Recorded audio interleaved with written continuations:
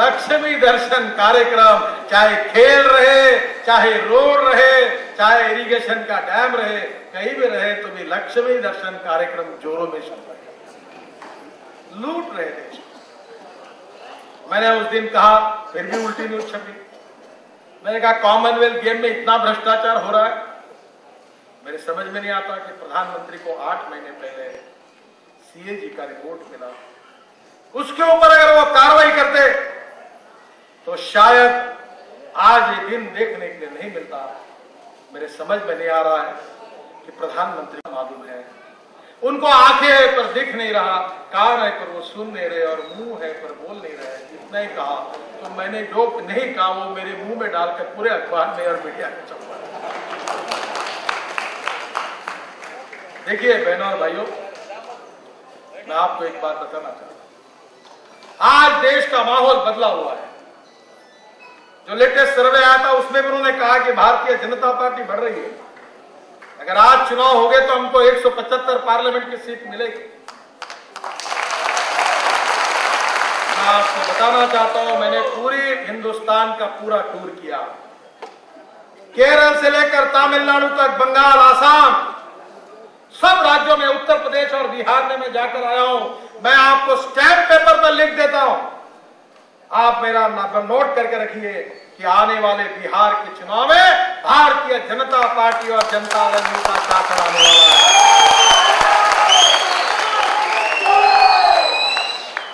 मैं आपको बता देना चाहता हूँ, उत्तर प्रदेश का भी माहौल बदल रहा है।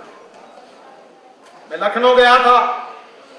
इतना कार्यकर्ताओं में उत्साह था कि लगातार हमारे कार्यकर्ता रोड पर आए हमारे डॉक्टर साहब उत्तर प्रदेश के अध्यक्ष थे।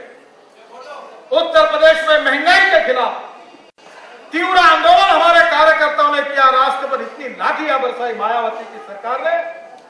और उत्तर प्रदेश के कार्यकर्ता रोड पर आकर ने ऐसा संघर्ष किया है ये उत्साह, ये ताकत, ये भविष्य की भारतीय जनता पार्टी की ताकत बनकर उत्तर प्रदेश में भारतीय जनता पार्टी नंबर एक ताकत बनेगी ना, रहेगी नहीं। बहुजन समाज पार्टी से और समाजवादी पार्टी से नाराज़ हैं। और कांग्रेस की केंद्र सरकार के प्रति रोष है। महँगाई के कारण केंद्र से और कांग्रेस से उत्तर प्रदेश की जनता नाराज़ है। मैं विश्वास के साथ बता देना चाहता हूँ कि उत्तर प्रदेश में फिर से एक बार नंबर एक की ताकत करके भारतीय जनता पार्टी उभर कर आ गया केवल उत्तर प्रदेश में नहीं तो पूरे देश की परिस्थिति बदल रही मैं बेंगलोर गया था। ओबीसी लोगों का एक मेला था, तीन लाख लोग। मैं चेन्नई में गया था, पचास हज़ार लोग। चेन्नई में खड़े थे, मैं अंग्रेज़ी में बोल रहा था और वो तमिल में ट्रांसलेशन कर रहा था। मेरा भाषण समाप्त हो ताले भी बजाते थे और जब वो तमिल में ट्रांसलेट हो जोरदार तालियाँ बजाते थे। मैं पांडिचेरी गया, मैं आंध्र प्रदेश गया। अभी आंध्र प्रदेश का चुनाव हुआ। फिर से हम जीते। बेंगलोर महानगर पालिका में हमने चार गुना ताकत बढ़ाई और भारतीय जनता पार्टी के ताकत पर बेंगलोर की महानगर पालिका में हमने मेजोरिटी हासिल बहनों और भाइयों, हमको ताकत के साथ खड़ा रहना है। अलग जा, जात होगी, भाषा होगी, प्रांत होगा, इन विवादों में मत फंसिए। इसमें कोई फंसने की आवश्यकता नहीं है। हमारी अस्मिता का पालन करने के साथ साथ हम हिंदुस्तानी, हम भारतीय है। यह भावना अपने मन में प्रबल बनाइए। भारतीय जनता पार्टी इस देश के भविष्य को बदलना चाहती है।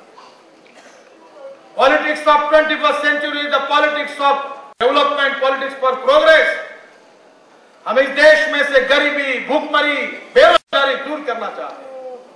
और मैं विश्वास के साथ बताना चाहता हूँ कि हम कर सकते करके दिखा सकते हैं, हमारे ज्येष्ठ नेता अटल बिहारी वाजपेयी जी ने अपने थोड़े समय में हिंदुस्तान का भविष्य बदल दिया। मुझे सौभाग्य मिला, प्रधानमंत्री ग्राम सड़क योजना किसने बनाई? उनचालीस हज़ार करोड़ रुपए खर्चा करके एक लाख बहत्तर हज़ार गाँव में अगर मज़बूत रस्ते बनाने का काम हिंदुस्तान के इतिहास में किसने किया है तो प्रधानमंत्री अटल बिहारी वाजपेयी ने ये राष्ट्रीय महामार्ग चार फोर लेनिंग किसने किए? क्यों नहीं इसके पहले हुए? ये पूरे महामार्ग का चार पत्रीकरण का काम अगर किसी ने किया तो अटल बिहारी वाजपेयी की सरकार ने अठारह लाख किसानों को क्रेडिट कार्ड दिए। मैं मध्य प्रदेश गया था। वहाँ के किसानों को हमारी सरकार केवल तीन परसेंट से ऋण देती है। क्यों नहीं महाराष्ट्र की सरकार देती है? मैं सुधीर भाव से प्रार्थना करूँगा कि मध्य प्रदेश की सरकार अगर किसानों को तीन परसेंट से ऋण से कर्जा देती है तो महाराष्ट्र की सरकार भी तीन परसेंट से ऋण क्यों नहीं देती? हम महाराष्ट्र की विधानसभा में आवाज़ उठा रहे हैं। हमारे खड़से जी, सुधीर भाऊ, देवेंद्र जी, विनोद जी भाऊसेक सब मिलकर आवाज़ उठा हमने संघर्ष करना चाहिए। संघर्ष के लिए रोड पर आना चाहिए। मैं दिल्ली के कार्यकर्ता मुझे मिले थे। मैंने कहा, घर में बैठ कर की राजनीति मत करो, हर महीने में दो लाठीचार्ज होने चाहिए, वो पानी फेंकते दो होने दो। हर सप्ताह में लाठीचार्ज हो रहा, हर सप्ताह में पानी से कार्यकर्ता जख्मी हो रहे हैं। जितना अटैक करते हो, उतनी डबल ताकत से फिर सर संघर्ष के लिए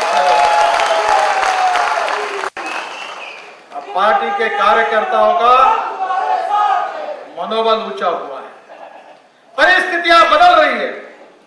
यूपीए सरकार के प्रति जनता में आक्रोश है। ये सरकार देश के भविष्य को नहीं बदल सकती। ये देश के गरीबों का कल्याण नहीं कर सकती। ये सरकार ने महँगाई बढ़ाई है। इस सरकार ने कश्मीर के विषयों पर सत्यानाश किया। मैं आपको पूछना चाहता हूँ। सैतालीस में पंडित जवाहरलाल नेहरू जी ने कश्मीर का विषय अपने तरफ़ लिया था।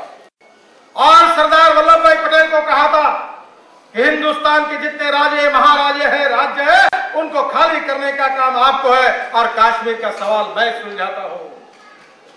वल्लभ भाई पटेल ने पूरे हिंदुस्तान के नवाबों को, बादशाह को, राज्यों को हिंदुस्तान में विलीन कर दिया। कहीं प्रॉब्लम नहीं है, ना हैदराबाद में प्रॉब्लम है, ना कहीं और पंडित जवाहरलाल नेहरू को केवल कश्मीर का विषय दिया था। पूरा कांग्रेस पार्टी ने कश्मीर के विषय पर सत्यानाश कर दिया। आज कश्मीर के लोग एक सेपरेट राष्ट्र की बात करने लगे। ये पाप अगर किसने किया है तो ये कांग्रेस पार्टी ने किया और कांग्रेस पार्टी इसके लिए जिम्मेदार बहनों और भाइयों, आप अच्छे कार्यकर्ता हैं। आज लोगों में जाइए। मैंने मृत्युंजय जी को कहा, कि आप एक काम करिए तो एक काम ज़रूर करिए। कि आप हर पार्लियामेंट कॉन्स्टिट्यूशन में उत्तर भारतीयों का सम्मेलन लीजिए। ताकत बढ़ाइए। नए नए लोगों को पार्टी में शामिल करिए और पार्टी की शक्ति बढ़ाइए। आने वाला समय हमारे आह्वान के लिए, हमारी शक्ति के लिए एक चैलेंज के रूप में खड़ा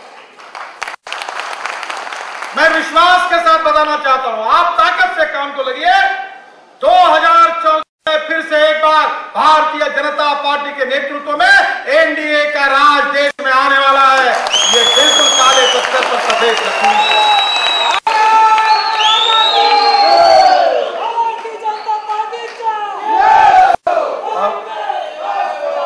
इसलिए मेरी एक ही प्रार्थना है कि हमको कार्य विस्तार करना होगा। हमारे बारे में किसी के मन में गलत फहमी होगी तो दूर करनी होगी। हम जातिवादी नहीं, हम सांप्रदायिक पार्टी नहीं। भाषावादी पार्टी नहीं हम प्रांतीयवादी पार्टी नहीं हम संकुचित पार्टी नहीं तो हिंदुस्तान की राजनीति में लोकतंत्र पर श्रद्धा रखकर राष्ट्रवाद हमारा आत्मा है, सुशासन हमारी प्रेरणा है, और अंत्योदय समाज के आखिरी व्यक्ति का विकास, ये हमारा उद्देश्य है। पूरी शक्ति के साथ काम को लगिए। बहुत अच्छा कार्यक्रम हुआ है। अभी मृत्युंजय ने मुझे चिट्ठी दी कि दो लाख उत्तर भारतीयों की बड़ी महारैली करने का उन्हें निर्णय किया है। महाराष्ट्र के काने कोने कोने में उत्तर प्रदेश, बिहार, उत्तराखंड, दिल्ली अनेक जगह से हमारे लोग आए हुए। आज उत्तराखंड के मुख्यमंत्री आने वाले थे। वहाँ एक सरस्वती शिशु मंदिर की पूरी तरह इतना बड़ा एक्सीडेंट हो गया कि अनेक बच्चे उसमें उनका देहांत हुआ। और इसलिए उन्होंने मुझे पूछा कि पंतनगर में मेरा प्लेन खड़ा है। अध्यक्ष जी, मैं क्या करूँ? तो मैंने उनको कहा कि आप मुंबई के कार्यक्रम की चिंता मत करिए। आप रोड बंद हो गए, चिंता मत करिए। आप पहले उन लोगों के पास जाइए जो लाभ लोग आज संकट का सामना कर रहे हैं। उनके पास आप जाइए। ये बात मैंने उनको कही। उनने आप सबको शुभकामनाएँ दी है। वो आज कार्यक्रम में आ नहीं सके और उनके तरफ़ से उन्होंने आपको शुभेच्छा दी और दिलगिरी क्षमा भी आप सबकी मांगी है। बहनों और भाइयों फिर से एक बार पूरे शक्ति के साथ, पूरी ताकत के साथ, भारतीय जनता पार्टी को पूरी ताकत बढ़ाने का काम पूरे शक्ति के साथ आप सब लोग करिए। हिंदुस्तान के भविष्य को बदलने का संकल्प करिए। जातीयवाद छुआछूत, अस्पृश्यता, इन सब बातों को दूर करके आर्थिक और सामाजिक न्याय देकर हिंदुस्तान की लोकतंत्र पर विश्वास रखकर इक्कीसवीं सदी में दुनिया की सब यही हिंदुस्तान के भविष्य को बदलने का संकल्प करिए। जातिवाद, छुआछूत, अस्पृश्यता, इन सब बातों को दूर करके आर्थिक और सामाजिक न्याय देकर हिंदुस्तान की लोकतंत्र पर विश्वास रखकर इक्कीसवीं सदी में दुनिया की सब